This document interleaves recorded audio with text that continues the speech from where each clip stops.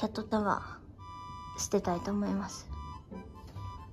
となんか自治体によって粗大ごみで出したり普通ごみで出したりするからちょっとわかんないんだけどうちの場合はあのこういう金属とか取り外してこれこれ系はこれ系は23個にまとめて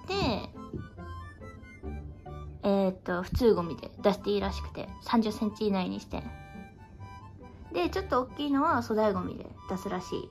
3 0センチ以上のものは。と毛とか全部きれいにしてお捨てになるらしいです。はあ。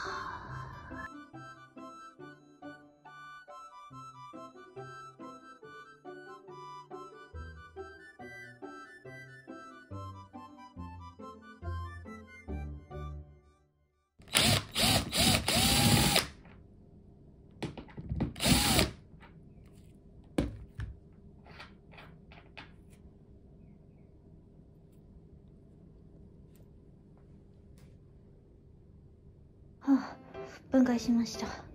これであの掃除しなくていいやと思ってたけど一個一個きれいにして。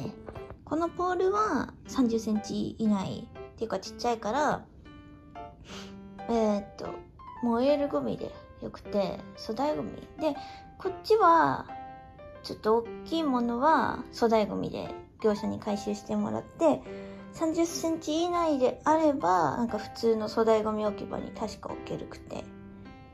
あれはもう出すな。500円ぐらいかな多分。はあペットタワーって大変やな。